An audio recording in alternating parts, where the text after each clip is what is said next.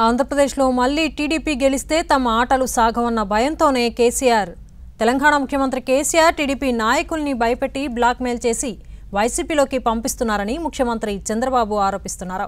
తెలంగాణలో ఆస్తులు కేసులున్న నాయకుల్ని లక్ష్యంగా చేసుకుని బెదిరిస్తున్నారన్నారు.